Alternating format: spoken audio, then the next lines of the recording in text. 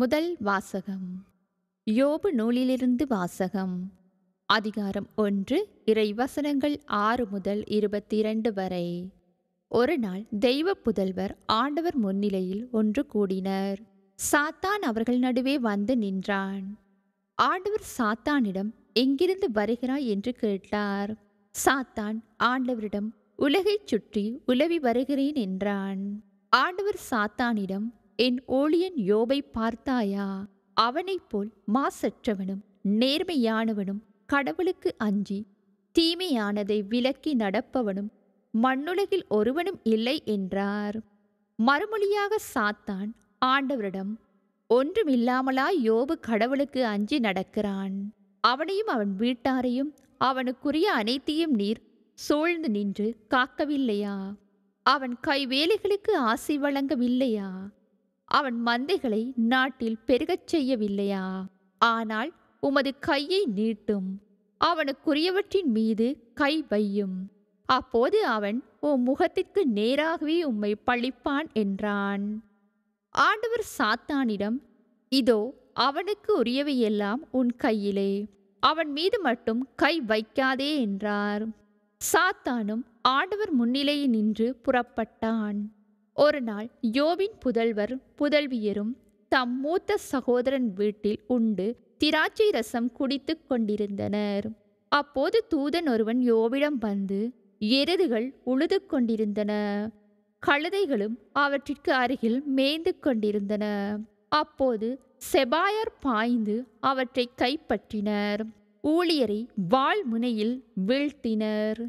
நான் ஒருவன் மட்டுமே தப்பி உம்மிடம் சொல்ல வந்தேன் என்றான். இதை சொல்லி முடிப்பதற்குள் இன்னொருவன் வந்து கடவுளின் நெருப்பு விண்ணிலிருந்து விழுந்து ஆடுகளையும் வேலையாள்களையும் சுட்டரித்து விட்டது. நான் ஒருவன் மட்டுமே தப்பி உம்மிடம் சொல்ல வந்தேன் என்றான். இதை சொல்லி முடிப்பதற்குள் இன்னொருவன் வந்து கல்தேயர் மூன்று கும்பலாக வந்து ஒட்டகங்கள் மேல் பாய்ந்து அவற்றை கைப்பற்றிக் கொண்டனர். ஊழியர்களை வாழ் முனையில் வீழ்த்தினர். நான் ஒருவன் மட்டுமே தப்பி உம்மிடம் சொல்ல வந்தேன் என்றான். இதை சொல்லி முடிப்பதற்குள் இன்னொருவன் வந்து உம் புதல்வரும் புதல்வியரும் தம் மூத்த சகோதரன் வீட்டில் உண்டு திராட்சை ரசம் குடித்துக் கொண்டிருந்தனர். அப்போது திடீரென்று பெருங்காற்று பாலை நிலத்திலிருந்து வீசி வீட்டின் நான்கு மூலைகளிலும் தாக்கியது. வீடு இளைஞர்கள் மேல் இடிந்து விழ அவர்களும் மடிந்து விட்டனர். நான் ஒருவன் மட்டுமே தப்பி உம்மிடம் சொல்ல வந்தேன் என்றான். யோபு எழுந்தார். தம் ஆடைகளை கிழித்துக் கொண்டார்.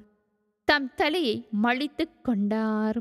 பின்பு தரையில் விழுந்து வணங்கி என் தாயின் கருப்பையை நின்று பிறந்த மேனியனாய் யான் வந்தேன்.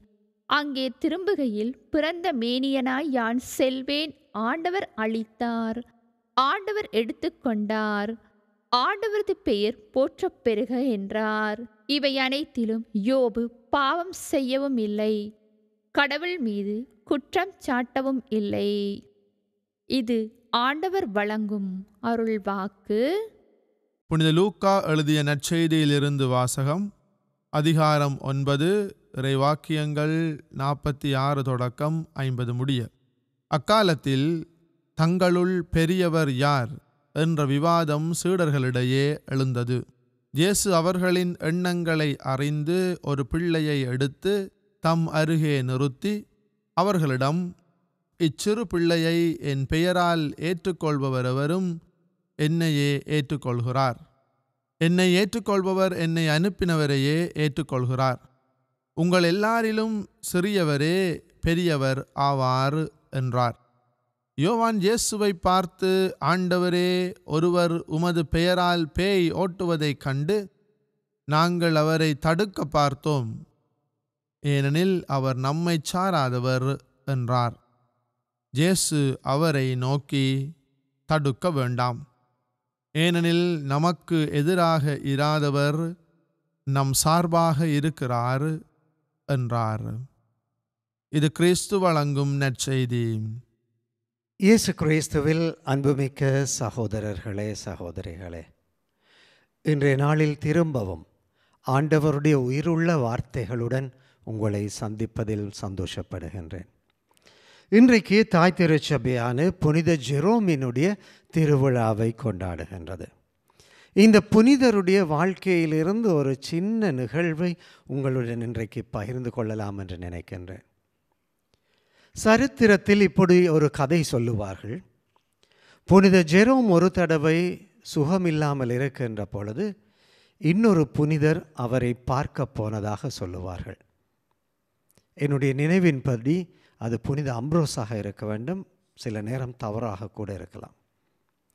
இந்த புனிதர் ஜெரோமை சந்திக்க போகின்ற பொழுது புனித ஜெரோமை பார்க்கின்றார். இவர் சுகம் இல்லாமல் கட்டிலில் படுத்திருக்கின்றார். கட்டிலில் படுத்திருக்கின்ற புனித ஜெரோம் யாரோ ஒரு புனிதரினுடைய வாழ்க்கை சரித்திரத்தை படித்து கொண்டிருக்கின்றார்.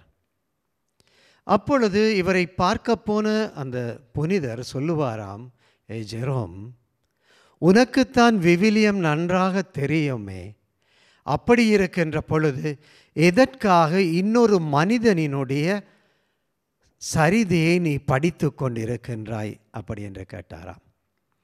அப்பொழுது புனித ஜெரோம் சொல்லுவாராம் ஒவ்வொரு மனிதனினுடைய வாழ்க்கையும் திருவிவிலியத்தை நாளாந்த வாழ்க்கையில் எப்படி கடைப்பிடித்து வாழ வேண்டும் என்பதன் விளக்கமாக இருக்க வேண்டும்? புனிதர்களின் வாழ்க்கை அப்படித்தான் இருக்கின்றது. அதனால் திருவிவிலியத்தை தெளிவாக புரிந்து கொள்ள நான் இந்த புனிதரினுடைய வாழ்க்கையை படிக்கின்றேன் என்று சொல்லுவாராம். அன்பான சகோதரங்களே இந்த உலகில் வாழுகின்ற ஒவ்வொரு கிறிஸ்தவனும் புனிதனாகத்தான் வாழ வேண்டும். பரிசுத்த பாப்பரசர் பிரான்சிஸ் சொல்லுவார் நாங்கள் எல்லோரும் புனிதர்களாக வாழ அழைக்கப்பட்டிருக்கின்றோம். இன்னொன்றையும் சொல்லுவார் புனிதர்களாக வாழ்வதற்கு பயப்படக்கூடாது. புனிதர்களாக வாழ நினைப்பதனால் நாங்கள் எதையும் இழப்பதும் கிடையாது. ஆகவே புனிதர்களாக வாழ முயற்சியுங்கள் என்று சொல்லுவார். புனித ஜெரோம் பரிசுத்த பாப்பரசர் இவர்கள் இருவருடைய செய்திகளையும் ஒன்று சேர்த்து பார்க்கின்ற பொழுது புனிதர்களாக வாழ அழைக்கப்பட்டிருக்கின்ற ஆண்டவர் இயேசுவினுடைய பிள்ளைகளான நீங்களும் நானும் இறை வார்த்தையினுடைய வாழ்க்கையாக மாறக்கூடாதா? என்னுடைய வாழ்க்கையை பார்க்கின்றவர்கள் என்னுடைய வாழ்க்கையின் வழியாக நான் இறை வார்த்தையை எப்படி வாழ முடியும் என்பதை விளக்கப்படுத்துகின்ற ஒரு வாழ்க்கையாக இருக்க வேண்டும். அன்றைக்கு புனித செரோம் சொன்ன அந்த செய்தி இன்றைக்கு எனக்கும் உங்களுக்கும் செய்தியாக இருக்க வேண்டும். நாங்கள் எல்லோரும் எங்களுடைய நாளாந்த வாழ்க்கைகளில் எப்படி இறை வார்த்தையை வாழ்வது என்பதை வாழ்ந்து காட்டுவதை எங்களுடைய கடமையாக ஏற்றுக்கொள்ள வேண்டும். அப்படி ஏற்றுக்கொள்ளுகின்ற பொழுது நாங்கள் இறை வார்த்தையின் விளக்கமாக இருக்கின்ற புனிதர்களாக வாழுகின்றோம் என்பது பொருள். ஜபிப்போமாக.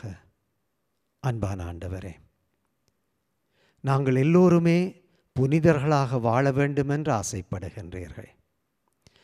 அந்த புனிதர்களுக்குரிய வாழ்க்கையை வாழ்வதற்கு இறை வார்த்தை எங்களுடைய வாழ்க்கையில் கடைப்பிடிப்பதுதான் இலகுவான வழி என்று புனித ஜெரோம் வழியாக எங்களுக்கு சொன்னீரே அதற்காக நன்றி சொல்லுகின்றோம். எங்கள் ஒவ்வொருவருடைய வாழ்க்கையும் இறை வார்த்தையின் விளக்கங்களாக எங்களுடைய வாழ்க்கை சூழ்நிலைகளில் உமது கட்டளைகளை எப்படி கடைப்பிடிக்க வேண்டும் என்பதை சொல்லித் தருகின்ற ஒரு வாழ்க்கையாக மாற்றித்தாரும் ஆண்டவரே. ஆமென்.